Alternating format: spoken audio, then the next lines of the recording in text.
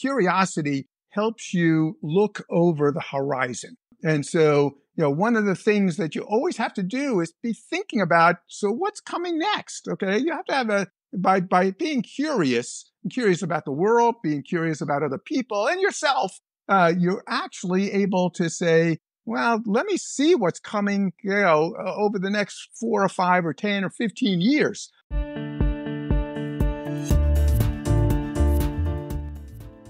That was the voice of world traveler and debut memoirist Bob Danna.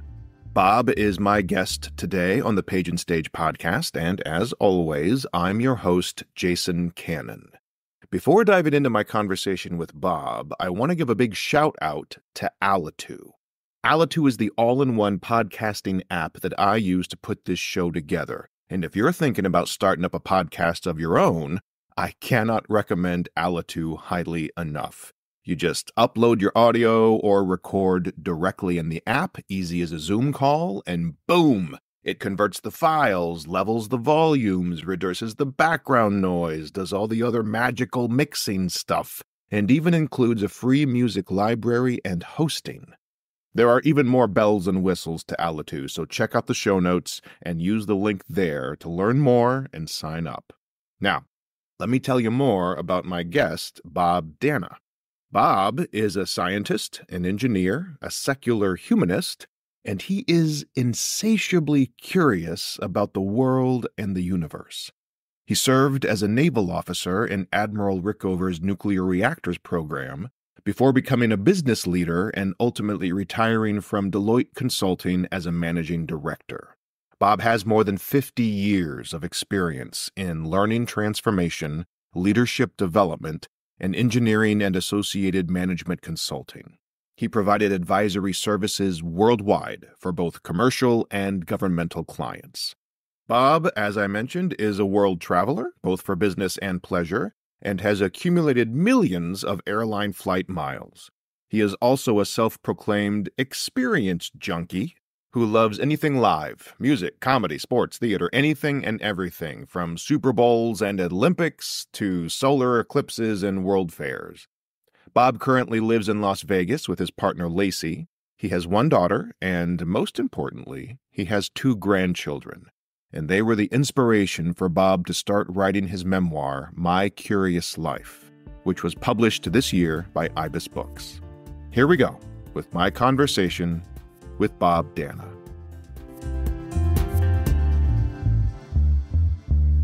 After some battling with the microphones, I am here on the Zoom with Bob Danna. This is a delight for me. Bob, many of you who listen know this because you follow my newsletter as well, but Bob is one of my authors with Ibis Books. We dropped his memoir, My Curious Life, just a what, a few months ago, Bob? Boy, time. April 8th.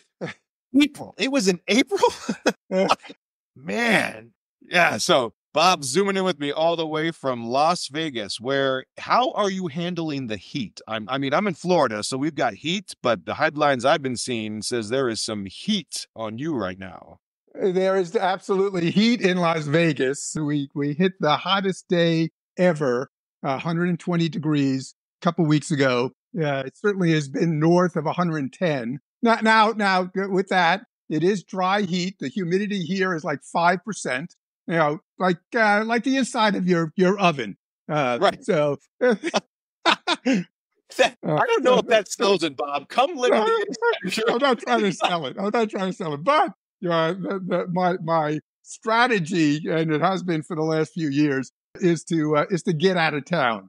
So uh, actually, we spent five weeks in Hawaii through June and early July, and I just got back from Park City, and Park City was beautiful. So this time of year, June, July, August, we try to, to get away if we can to somewhere other than uh, another hotspot. So, right. uh, but but uh, but it is hot here, uh, and uh, you just kind of adjust. Right, the, the body learns. right. Great. So I want to start because that you are in Vegas before we get into all of your amazing stories because you got to go to the world premiere opening of the Sphere, that new amphitheater in Vegas. Now, I was in Vegas just last October when it was just about before it opened, but they were doing the projections, you know. So I had like the tennis balls and the football helmets and the amazing. I ran each morning past it, and the I forget how the millions and millions of LED lights are. It was stunning. It's a stunning addition to the skyline there. But you got to go to the opening show by U2 inside the sphere. I just saw a headline. I think Grateful Dead is there now or something. I assume you've got yeah, and and we we've got a whole series of of, of bands that are coming. Uh, plus, there's also if you get to Las Vegas, you can have the Sphere experience. Uh, oh. so you can actually go there, cost like 150 bucks, uh, and they kind of demonstrate the full capability of the Sphere itself. Because Jason, one key thing is what you see on the outside isn't what you see on the inside. So the inside is is effectively like a TV screen that surrounds you inside of the sphere. Uh, so we did go to see U2. Uh, U2 was wonderful, but the sphere was really the show. And so at points in the show, actually the the the inside of the sphere uh, projects a, an image of the Las Vegas Strip. So it looks like you are actually outside. Uh, it's that crystal clear and they, they are they are synced to the music and then everything that goes on inside of the sphere is as much of the show as the the the the, the seeing U2. i've seen U2 before put U2 together with the sphere it was it was beyond description yeah i i got to read a couple reviews and just it makes me think about how a song which already has lyrics, right, and tells a, a, version of a story, to add that amount of visual oomph to the song is just got to amplify the lyrics, amplify the experience. I remember reading something about he would like held a balloon and the string went up and turned into a digital balloon or something. I mean, it absolutely. Well, and those those are kind of the the uh, uh, the, the the more mundane part of it. Those are the those are just the amazing parts. Okay, they're, they're, they're, not the incredible parts. Uh, you know, the incredible parts are you know they they bring you. It, it looks like you're out in the in a star field at night. You know, like I said, you're you're it opens up and it looks like you're in the desert. You're in on the strip. The the I mean, it just everything about it. You know, plus they also are projecting U2 on on the screen well, I don't want to call it a screen, on the inside of the sphere. So it's not a projection. It's just, it's again, like a t- picture, picture your TV set uh, that's 150 feet tall. Yeah. that, that, that degree of clarity. So amazing, amazing, amazing. It's just one of the many, many, many amazing things that go on in Las Vegas. Uh, it's just, this is just an incredible place to live, I must say. Well, let, well, let's talk about that. Let's let's kind of back into your story here. Like, how did you end up? Because I know you are a world traveler. You've lived in a bunch of places. I, I got to, for those of you out there, I got I was an editor on Bob's book and helped him kind of get it all put together and then publish it. So I I I have the skinny here on this man's ridiculously fascinating life. But how did you end up in Vegas? Yeah, that's that's a good story. Yeah. I mean, I actually, it's, it's, it's, I've lived a number of places in, the U.S. Like I grew up, I was born in Brooklyn, grew up on Long Island, went to school in Manhattan at Hunter College. After graduating Hunter College, wound up being recruited by the Navy and moved to Orlando, Florida for four years in the mid 70s, and then to Columbia, Maryland, joining a consulting firm. They relocated me out to San Diego to help build their West Coast operations then back to Columbia, Maryland to be a senior executive of, of the firm for a while, then to Sacramento, then back to San Diego. In all of those times, you know, I was always kind of coming to Las Vegas for conferences. My in-laws lived here. Uh, so we would get, you know, for the holidays and those kind of things. And I really started to, uh, to, to, to think about, you know, what I was going to do when I was retired. I'm 73 now. Started thinking, you know, in the, in my 50s, so where do I really want to have a home base that would be my location, uh, you know, for quote unquote retirement? And so ultimately actually had two places one a uh, a condo actually downtown san diego on pacific highway right across from the cruise terminal and then had a place here a, a small place that that i had started changing my residency to las vegas and then you know, finally I said, I really like Las Vegas. I'm going to sell the, the condo in, in San Diego, and this is where my roots are going to be. And then the family all kind of migrated here. And so all the grandkids are here. So it's, uh, I'm here. Okay, I gotta take a quick little detour because you just we're on video together, even though this is an audio podcast, but you just turned your head a bit. And is that how long is your hair now? Oh yeah. Uh, well, there it is. Wow, Uh, it is like uh, in a ponytail. Okay, so let's jump. Let's jump a few years back, Bob. Part of your story, you were a hippie. uh, I, I was I was a hippie back in the I died in the wool hippie. Uh, back in I, I absolutely, absolutely, Jason. Yeah, uh, yeah. So, so again, seventy three. You can do the math. I was born in in nineteen fifty one. So, I was a teenager in the '60s, and then you know certainly a, a young adult in the early '70s, and certainly embraced the kind of the hippie lifestyle. And so, uh, long hair, beard, on and off and on and off, and uh, certainly, certainly was was was a hippie by uh, by choice. And and I think the hippiedom kind of never left me, although you know, obviously I joined the Navy. I was a naval officer and then uh, consultant for 40 plus years, uh, which uh, you, you can't have a ponytail and, and be taken seriously if you're a, you know, engineering or management consultant. Uh, so needless to say, I fully retired January 1st. The way I define that is I no longer get paid to do anything. Uh, so, you know, if you want me, happy to have a conversation with you happy to do some advisory, consulting, you know, support. Uh, happy to make you successful, but don't pay me because I don't want to uh, to effectively answer to the man anymore. Uh, and and this is this is part of that that new Bob Danna image, which is longer hair, ponytail, and and uh, effectively makes a statement about you know who and what I I was and, and who who who really I I uh, feel like I want to uh, to be we're gonna have to update your author photo, Bob. no, no, no, no, we won't. All right. So speaking of your book, My Curious Life, this is a this, it's a, your memoir. It's your memoir. Talking Yes. about, I mean, everyone listening already can hear that just the, the vast array of experiences you've had. But let's start at the very beginning of this book because this this was fascinating to me. What motivated you? Like lots of people talk about wanting to write down their stories. I, I meet people all the time in my classes and workshops saying, "Oh, I want to write a memoir," and I always I always start them with small stories and prompts. You came to me with like a full draft done. You you didn't need motivation, but I'm curious what sparked you in the first place. What made you think I've got to write this stuff down? Uh, yeah. Well, obviously, the the what happened was I'm getting older. Okay, I know at this point I've got a, a, less a lot less in front of me than behind me, and so you know one of the things that I, I, I really was starting to think about was you know is there something that I need to do in order for, in essence, uh, you know, kind of a, a legacy for my grandchildren?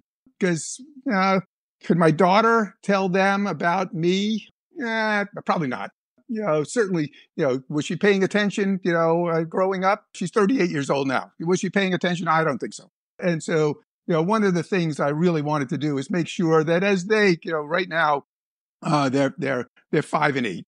And so, you know, by the time they're teenagers, I don't know if I'm going to be around, you know, and certainly as they, as they kind of mature, you know, I want them to know their grandfather. And, and, you know, I, I've had a lot of lessons learned and, and life experiences. It would be great for me to leave that for them you know, more than anything else. So I think that was one of the big motivator motivators. I, I one of the other things is, you know, I am a uh, I, I I follow rock and roll music and folk music, and you know that that's my kind of passion. I can't can't sing, I can't play, but I love music. And my favorite couple of artists, Meatloaf in particular, uh, passed away beginning of last well a couple years ago, and I think that really kind of hit me that a lot of the a lot of the, the, the folks that in fact you know I have followed from a music standpoint uh, are now dying. I mean, uh, so so and they, they he was you know he was seventy five. I'm seventy three. I mean, uh, same thing with uh, David Crosby from you know uh, I, you know I just I just I was was starting to get hit with the fact that you know like I said there's a lot less in front than behind and, and tomorrow could be the last day and, and I wanted to make sure that that the grandkids had something to uh, to have that was that was more than oh he, left me some money or or you know I remember going to Hawaii with him or whatever. I mean, uh, you know, I I really wanted to leave him something of substance, so I started writing. Initially, I was just going to leave some notes, but then as I started to write, it got a little bit more and it got a little bit more, and I started to to put some stuff together, and then finally, uh, you know, Jason uh, and I kind of connected, and and you and I uh, you know, it wasn't just an editor; he really was my development editor. So, so Jason, thank you so much for that because uh, it was it was certainly an, an, interesting exercise. I had never done it before, first book. So, you know, Jason would come back with all of these X's and move this here and throw this out, and what about this and what about that? And so he he made me crazy a bit, but uh, it was a, a totally fascinating process, and I'm very very happy with the relationship that we have and uh, that culminated in, in the book. I feel the same way, Bob. And I actually, I'm glad you brought that up because I wanted to ask you about two particular things that we worked through together in terms of how to tell your story. Because again, when it first came to me, it was very, very linear. It was very straight through year by year by year. And in my memoir classes, I say this all the time that no, no one really cares about the right order of events. That's that's for the world of history and autobiography. But in a memoir, in a memoir, we can jump through space time because we're connecting lessons, we're connecting emotional through lines, we're connecting ideas. And chronology is the least interesting part of the human experience. So, there's two key things that we had to work on together. And I want you to talk about your experience kind of finding them with me. One was your voice, right? That we got very specific about. One of the first exercises, exercises I gave you was to tell me more about your grandkids because you had mentioned this to me that they were one of the reasons you wanted to write this. So that I asked you basically to write about a day when your grandkids visit. And then we got all the way to why don't you write this to your grandkids as if they're older? You know, they're in their 20s and 30s, they can actually understand what you're saying and write it to them as if the reader is your grandkid right? So that was one thing we had to really kind of suss out together was voice. And the other was structure to the point of getting rid of chronology. And the thing that you really grabbed onto and ran with was the idea of your life as a five act play. Remember that that kind of manifested out of our I conversation. Do. So I'd love for you to talk about those two concepts the voice, how you got to the point of talking to your grandkids and kind of how that unlocked you, and this idea of your life as a five act play and how that helped you structure this memoir. Yeah, for sure. And, and uh, actually, our conversations were were very, very informative in terms of the way that uh, you and I were able to to kind of structure that. Uh, the the the voice, I think, uh, the voice, I think, was a very interesting conversation to uh, to have with you. Uh, and so, what we decided to do, which I think hopefully worked, the feedback I've been getting on folks that have read the book has, has been very positive. But what I, I wrote is actually to uh, my my grandchildren, and so I'm I'm mentioning their mother and their grandmother and myself and our travels, but it's all spoken to them. So when they do uh, read it, uh, uh well, I, I, hope they read it. Uh, actually, uh, the title is "My Curious Life." If my grandkids ask about me, tell them this. So I don't think there's any guarantee that they'll actually ask about their grandfather. Hopefully they do, uh, but maybe not. So the reader is actually looking over my shoulder uh, as I'm speaking to them and trying to, you know, give them a, an understanding of uh, who their grandfather uh, actually was. And there's there's there's actually three different parts to it. So as as Jason just mentioned, uh, you know, there is in fact a um, uh, three a five act play uh, that I kind of break my my life into to kind of give a, a, a flow of, of you know how things happen, where where the where the crises were, uh, how I kind of navigated through, powered through some of those, uh, and and kind of ultimately give that in I don't know it was 40, 50 pages or so. But then uh, what I wanted to do is go in and actually deconstruct myself because I have not lived a linear life. You know, I've had lots of twists and turns, lots of decisions that if I made one decision or another decision, it would take me in a completely different direction. Um, and so the next part of this is deconstructing Bob Danna. So, you know, uh, so I am a curious person. So I start to talk about me as, as an intellectual uh, and somebody who loves to learn. Um, and what does that feel like?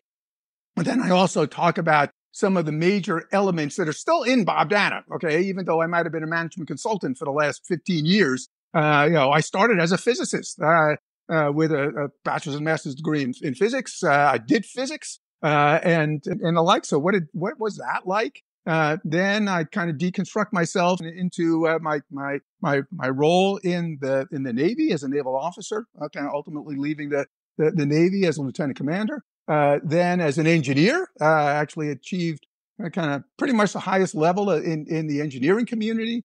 Uh, and so, you know, each one of those uh, is now deconstructed. And then I take another part and, and then it's like sitting down with the grandkids and uh, it's talking to grandpa, you know, over the, over the dinner table. Let's talk about you know, let's talk about my travels in the U.S. Let's try to talk about uh, my travels worldwide. You know, let's talk about this. Let's talk about that. Let's talk about religion. Talk about politics. This is, you know, the, the crazy grandpa having that conversation. And, uh, you know, where did it come from? You know, way back in the '60s. Uh, and so it, uh, I try to do all of those different things, but, but actually, um, having that conversation with you, I think really made me think about how to present this in a way that you know they could actually dip into a given chapter uh, and read a chapter and figure out oh okay now i really understand something about my grandfather. Same thing with the readers. They can dip into any chapter and probably walk away with an understanding of what this guy's insights uh, from all of the experiences that he had has had uh, are are maybe useful to uh, to be considered. Yeah that's that's one of the fun parts of uh the let's talk about section that it's almost becomes like a little field guide or handbook and you can literally open it up to sort of any chapter you're interested in and pull something useful out of there. Yeah useful or not? Uh, you know, well or not yeah I'm, I'm making an assumption. Some, some of it is, is going to be kind of controversial because uh, one of the things that most people don't realize, you know, again, I was a management consultant for for uh, executive, uh, you know, senior executive at a, at a, number of consulting firms. So you kind of assume that uh, you know this guy is from from the picture that you saw uh, that you're referencing uh, is you know conservative, is is probably a, a Republican, it, you know, it's whatever, and it's nothing is further from the truth. and so uh, you know, same thing with with with re- religion in terms of uh, you know my my opinions about that uh, are probably not what you would expect. So that's one of the taglines that Jason, you also kind of came up with, uh, which is, uh, "Hey, y- y- this guy isn't what he seems." Uh, yeah, my so, name my name is Bob Danna, and I am not who you think I am. Yeah, exactly. so that that was that that's that's that's your tagline, not mine. uh, but it was it probably couldn't be truer than uh, than that.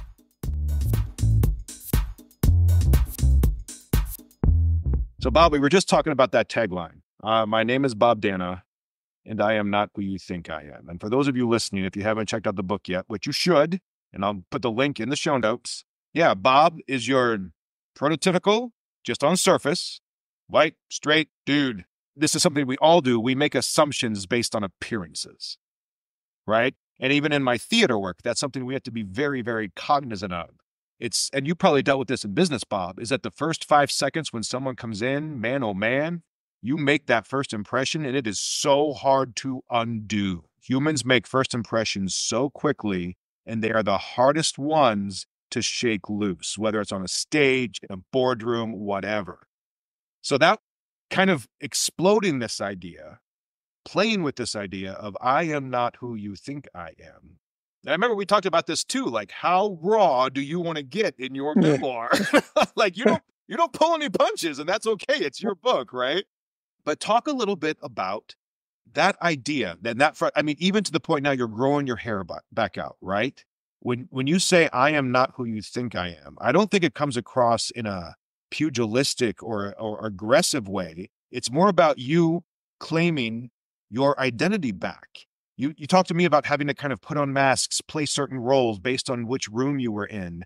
And so I'd love for you to talk a little bit about what it means to go into those different rooms and play a character and what it feels like now to release that and almost using this book as your relaunch party into being your truest self. What has that been like for you?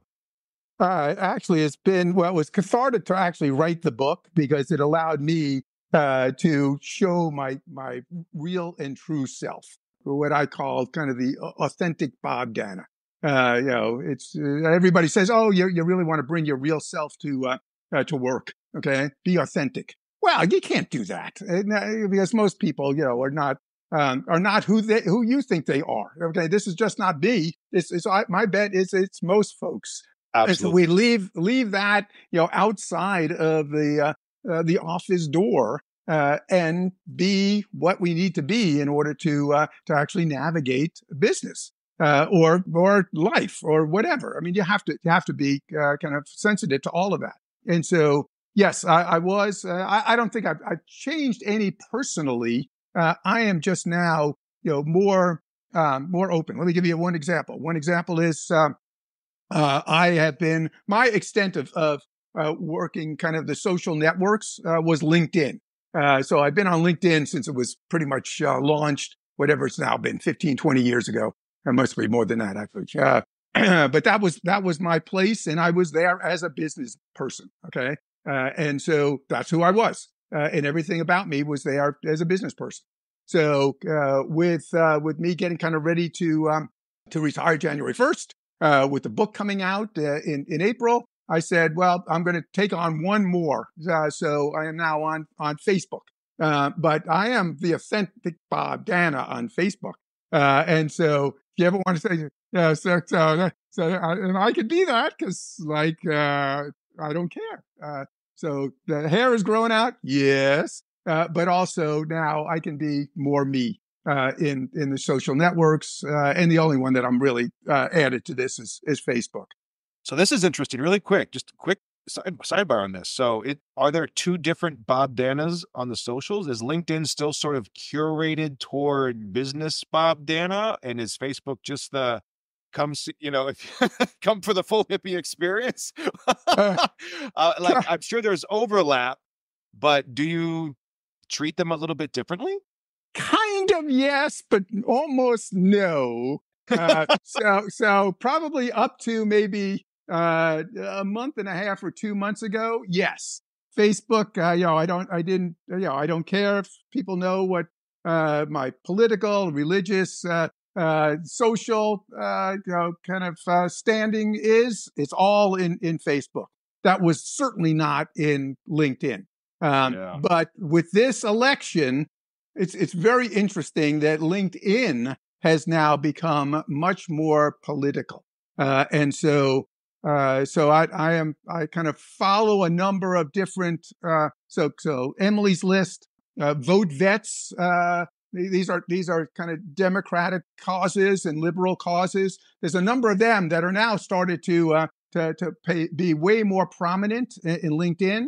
Uh, so now I'm following them. I'm participating in the discussions. You know, I'm I'm kind of actively doing that. and my uh, my persona uh, on LinkedIn uh, is now starting to navigate a bit towards that, based on where we are in the uh, the presidential and election cycle for for this year. Yeah, that's and so, so interesting. It's almost like you're you're you said you're the personality, and I love that too. The personality of Bob Danna on LinkedIn is like evolving in real time in response to how the entire platform is shifting. That's so yes. interesting. That you would not the, have, the story you're telling about yourself has to adapt to the new plot lines. Well, and it, and you would not have seen that 6, 12, uh, 18 months ago, and certainly right. not three years ago. Okay. Yeah. Absolutely none of that. And now you go on LinkedIn and you're starting to see a number of folks effectively pulling back the curtains on themselves as well. Uh, and so at this point, I feel very comfortable pulling back the, the curtain on myself uh, and voicing my opinion. And actually, uh, you know, this was just, you know, one, one of the things that kind of occurred was uh, I was on one discussion uh, where uh, they were bashing Vice President Harris, you know, around this whole DEI thing. and so I got in there and actually I, I know a lot about DEI, being a management consultant, and and and certainly have embraced DEI probably for the last forty years, uh, even before it was DEI. You know, I defended uh, Kamala Harris. Uh, I, I, you know, kind of really, uh, you know, kind of pushed back on a lot of what was being said there. Uh, and then I had others kind of come in, even through the the the, the LinkedIn Messenger, uh, and say, "Thank you so much, Bob, for defending Vice President Harris." Uh, and I really appreciate this and blah blah blah, and started making connections with folks. Uh, you know, and and again, looking at me, they would have never guessed that I was going to be a major supporter, and then even even more so a supporter of DEI and and what it does, and you know not not not calling uh, Vice President Harris kind of names around how she got to her position, you know, based on this new uh, approach to bad mouthing her and the the whole of uh, uh of uh, of DEI. Right. So in a way, this this has unlocked new connections you actually wouldn't have otherwise made.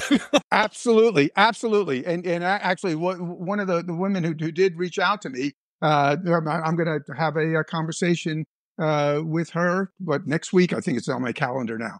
Yeah, so it's it's yeah, the brand new connections uh, in a totally different way, and people realizing who and what I am uh, in a way that they probably never would have thought uh, was the case. Yeah just getting to tell your story the way you want to tell it. That's so for anyone listening, right? If you, uh, I'll, I'll put a warning on the episode too, but please, but do. yeah, the book. I mean, that, this is kind of the joy of writing your memoir and of taking ownership back of your story.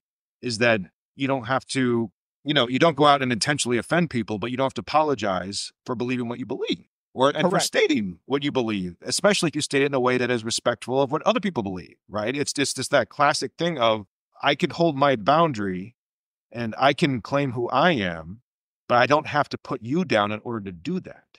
Correct. Uh, and and all I'm doing in the book too is is is stating how did I get to where I am? Okay. Exactly. What what was what were my life experiences? You know, even as an eight or nine or ten year old teenager, uh, you know, back in you know school, college, etc. You know, what were those experiences that effectively shaped me? And one one of the things, Jason, that that I think is important also is that you and I kind of zeroed in on uh, the area of curiosity. Um, yes. Uh, and so initially, the title of the book was going to be "My Boomer Life" because uh, I'm a baby boomer. That's right. I. I had forgotten that. You're right. That was the uh, original title. And I, I, I brought the boom down. I was like, I don't think you want to call it this, spot. no, no, no. So we went back and forth, and and and and, and you kind of kind of kept pressing me as to what was the the real kind of theme of your life. Uh, and it was that I'm curious, uh, and I'm curious about the world. I'm curious about other people. Yeah, probably less curious about myself, but certainly curious about myself and personality and how, how does my personality manifest, you know, and people, you know, seeing me and, and me interacting with other people all of that's in the book, and it's it bubbled up to be, in essence, the title. Yeah, that's uh, you probably forgot about that, but that was one of the conversations I, that we. I totally had. I, it's all coming back now.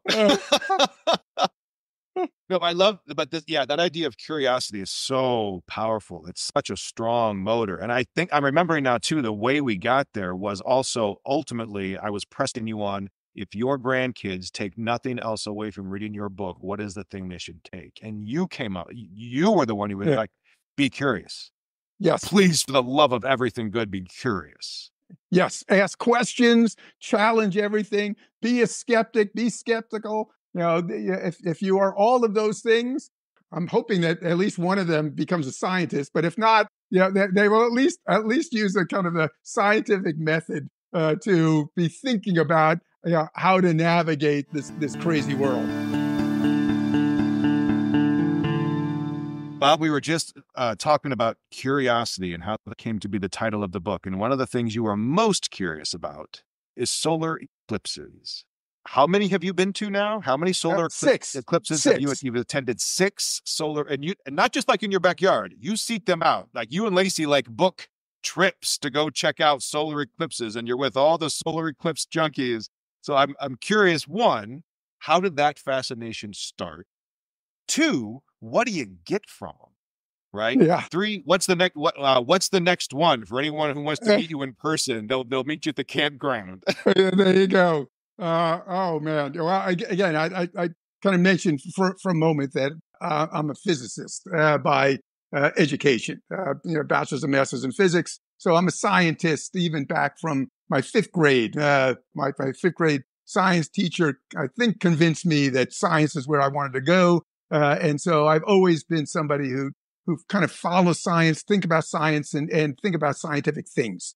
Well, in college, uh, as a um, as an undergraduate, uh, we had a, a, a, physics club, effectively a lounge for physics majors. Uh, and you probably don't think that physics majors are, are, are fun and funny, uh, but we actually are. that program, Big, Big Bang Theory, and you know them sitting around like like they do. You know, that that was that was me uh, back in the in the early seventies. Oh, um, Big Bang uh, Theory is basically a documentary. It's a PBS in the Wild show. I didn't know that. exactly.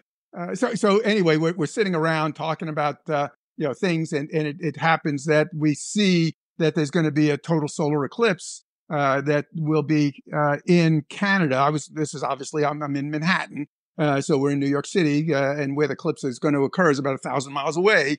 We decide that we're going to go see the the total solar eclipse, and there was about six of us, uh, three vehicles, uh, a microbus, a VW Bug, and, uh, and an old Fiat Spider. and we made our way up there. We brought telescopes and cameras and blah, blah, you know, uh, and it's the, it's the same one that, that you hear in He's So Vain by Carly Simon, if you know that. Yeah, so, so he took his Learjet up to Nova Scotia to see the total eclipse of the sun. Same one, same one. Uh, the only difference is uh, we didn't do it by Learjet.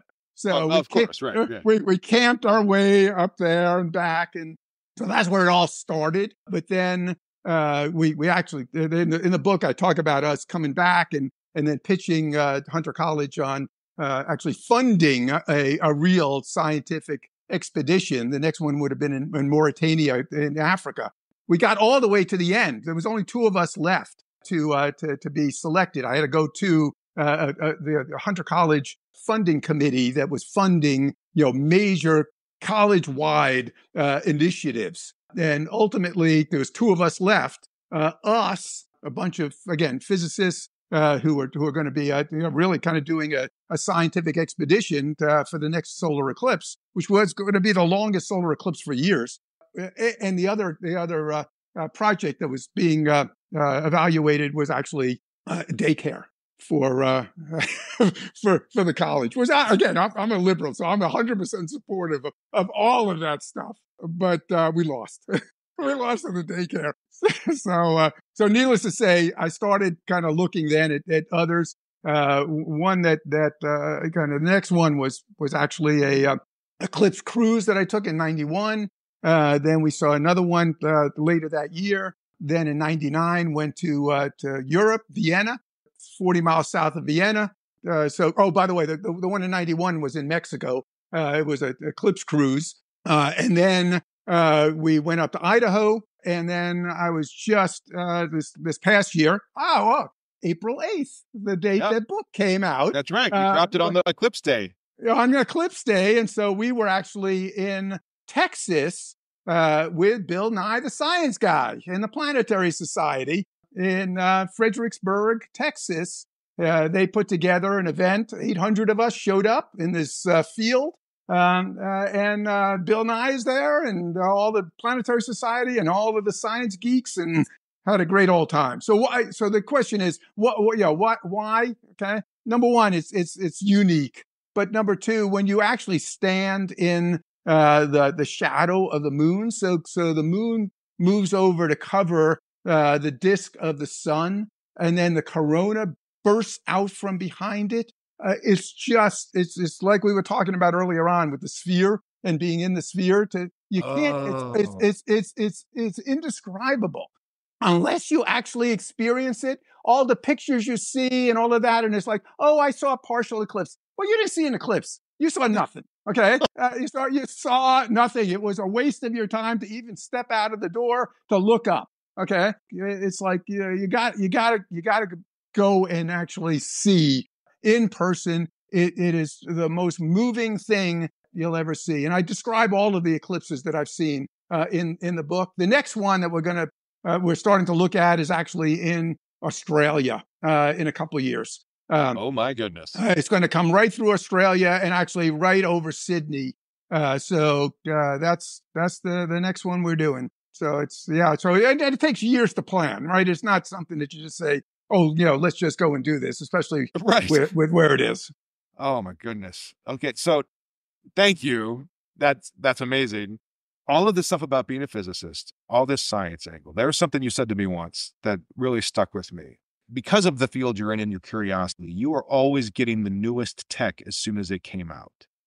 Like you used to carry a slide rule in your right on my on my belt on my belt on your belt. You had a slide rule on your belt, like mathematical Batman. Yeah, yeah. And now nothing, today you've nothing, got nothing say, says geek uh, Yeah. more than, than having a slide rule on your belt.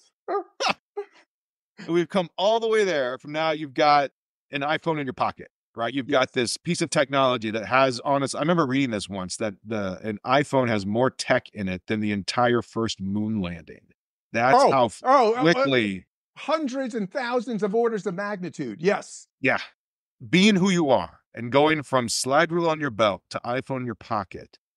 Talk to me about the story you see in terms of tech, the the benefits, the scary parts. Like, what do you think is going to happen next? Like, what what are your hopes for tech when you think about your kids? Right, and you were very specific. Your grandkids, I mean, you were very specific when you were writing about your grandkids that when they come over to your house, it's a no screen zone, and you get out all these older toys made of wood and metal, and plan. They have to Legos. They have to create their own worlds. That's the rule at Grandpa's house. Is that here's the chest full of toys. It's all analog, nothing digital. And that's a very intentional choice on your part. But it's not because you don't like digital, like you don't like tech. It's because you want to inspire their brains to work in creative ways. How do you square that circle with then, like, but technology also is awesome? You've come from a slide rule to a phone. You keep your grandkids firmly in the analog world as long as possible. Talk to me about your relationship with tech, because I just think it's fascinating. Yeah, and just uh, Jason, just to be clear, at, at their home, uh, there's nothing but tech. So, these, you know, so these little guys are already on a pad. You know, they, you, you, you hardly can get a word in edgewise when you're in that at their house, uh, and so that's why it's like, don't bring it over my house. We're gonna wait because one of the, the big things that I think uh, is getting lost with the with the generations, and I'm I'm, I'm going to now speak as a as a old man, uh, is uh, that you know we actually had a gut feel for numbers, for mathematics, for things, lots of lot because we we kind of go grew up without it. So you had actually had have a have a real gut feel for uh, for uh, what an equation is, how it was going to how how it's going to deliver a number. I'm not punching in numbers and then there it is. There's the answer. You have no understanding whether or not you even put in the right numbers. Okay, Right. uh, and and so by having at least a gut feel for for how things work, uh, I think is is important. Now, I you know, you know I I did you know adopt technology. I was I did computer simulations as part of my master's thesis in physics. Uh, you know, I, I, I so this is back in the seventies, uh, and so I I absolutely have embraced technology all the way. But I think there's a real balance between kind of embracing technology and pushing technology and not losing the perspective of what the technology is actually modeling, what it's actually telling you you know, not just delivering information, but you've got to be able to understand the context of that and how it actually kind of kind of drives you to make decisions, to gain insights, etc. So where is it going? And and one of the one of the things that I do talk about in my website actually, uh, and I just posted a a blog on this, is uh, that curiosity helps you look over the horizon. And so you know, one of the things that you always have to do is be thinking about, so what's coming next? Okay. You have to have a, by, by being curious, curious about the world, being curious about other people and yourself, uh, you're actually able to say, well, let me see what's coming, you know, over the next four or five or 10 or 15 years. And I just, I just read a, a, a great book that was the Skeptic's Guide to the Future. There's actually a podcast called The Skeptic's Guide to the Universe three brothers. Novella is is their last name. Fantastic. I've been following them for for years. Uh, they're part of the skeptical movement, uh, and so one of the things that they they did was they wrote a book, and I, I highly recommend it to anybody who wants to look over the horizon uh, in in biology and in technology and in in uh, space travel and in li- literally everything. There's chapter after chapter after chapter. Uh, medicine uh, in this this book that they try to take a skeptical view, but look over the horizon. And so, you know, where does technology go? You know, and there's dark sides, uh, and we're we're exploring some of that right now with AI and all of the uh, all of the things that that that might lead to. But at the same time, I'm a believer that technology is going to help us immensely, uh, you know, evolve as as human beings, as long as we don't pervert the the technology, uh, which is always the kind of the balancing act that you have. Is you know not not get to a point where the you know the technology is taken on by the worst kind of humans and uh, put into practice so that it actually hurts us rather than helps us.